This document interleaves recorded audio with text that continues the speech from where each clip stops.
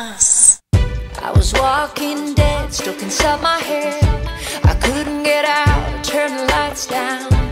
The voices inside were so loud. Need a jump start, catatonia.